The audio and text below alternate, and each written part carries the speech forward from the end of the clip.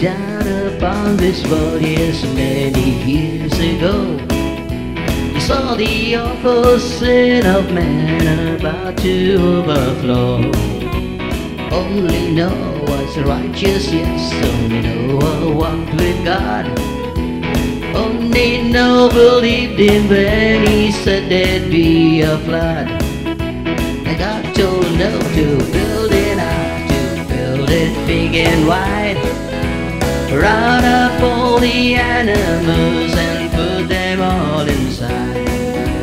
Then come in with all your folks, and I will close that door. And in the morning, this world will be no more. Are you in the ark? Or are you outside?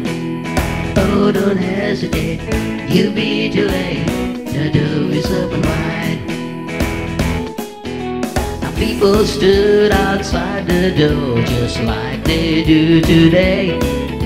They fell about all laughing at Noah's funny way. and Noah's built himself an ark set it on dry ground.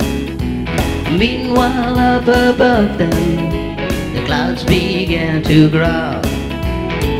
Are you in the ark? Are you outside? Oh, don't hesitate, you'll be delayed. The door is open wide.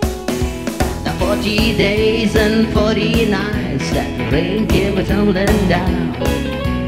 Everyone inside the ark was warm and safe and sound. Only those outside now they won't laughing anymore. Rain and tears will mingle as they scratched upon that door. Are you in the ark? Or are you outside? Oh, don't hesitate, you'll be too late. The door is open wide. Now Jesus is God's ark today, and in Him you must be.